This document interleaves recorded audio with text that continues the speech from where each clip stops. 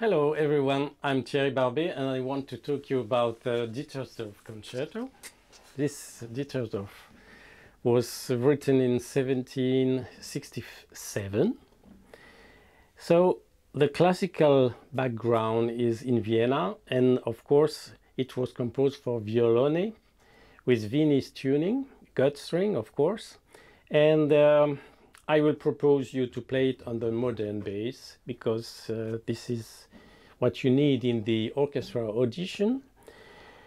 Uh, of course, I will make a compromise and try to imitate a little bit the Viennese and the historical informed uh, way of playing. But, um, um, and also I will play the original by Tobias Glöckler in the Henle edition with no cuts, of course.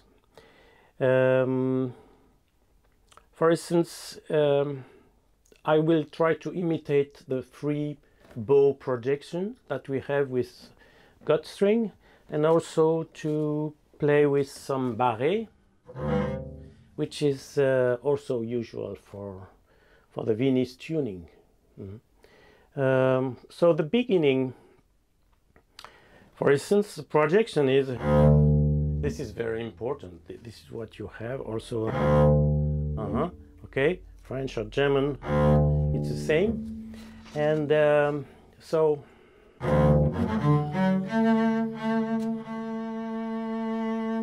of course, I like to, to play with some vibrato because, again, orchestral audition, it's a kind of modern way, but not too much vibrato, not romantic vibrato like Bottesini, of course, of course.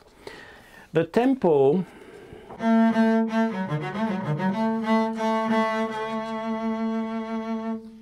can be very uh, gentle and not too fast because if you play too fast you kill the music so it's very important to play gentle like aristocracy. Mm-hmm.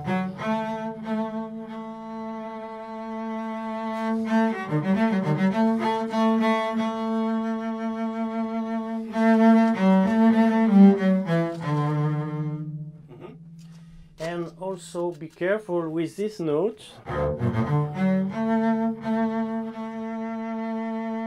Some, a lot of students play uh, too low. It's very important. So please, if you have little hands, put two fingers on A. Or two, one, two.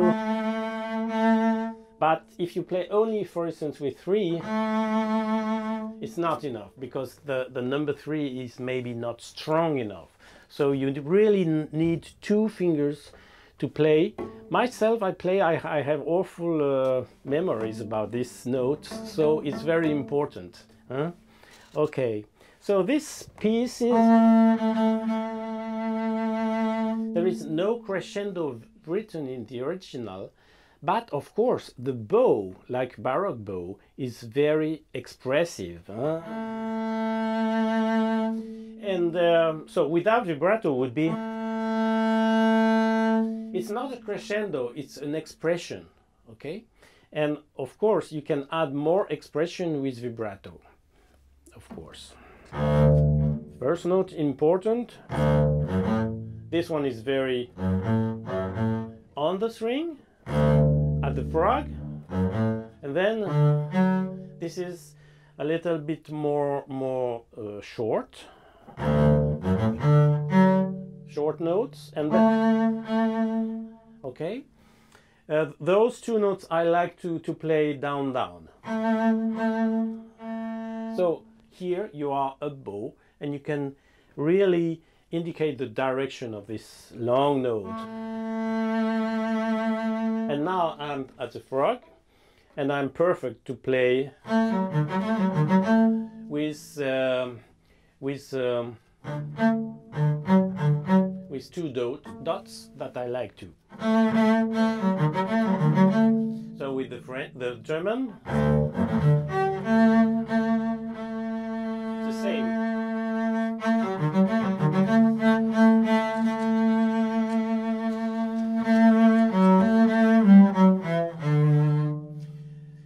This, this phrase could be without vibrato.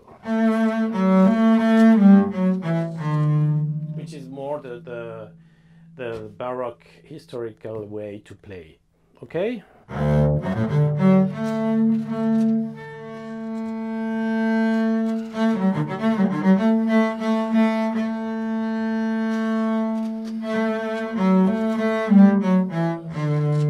Okay, but you know, for me, vibrato in Baroque music to play Bach or in classical, which is very close to Baroque music. Anyway, uh, vibrato is used as an ornamentation like another. So for me, of course, vibrato is part of the classical and Baroque music, of course. So then we continue. So with the little bridge. Okay. Okay. So we, we, we continue this uh, this style like this.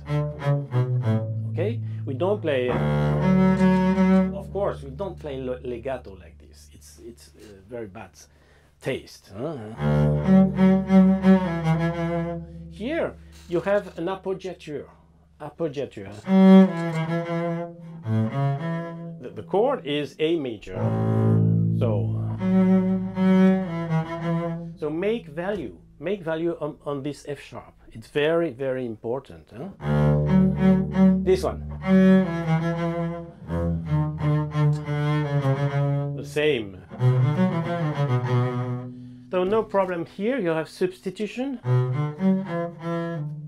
and appoggiatura. This is very important.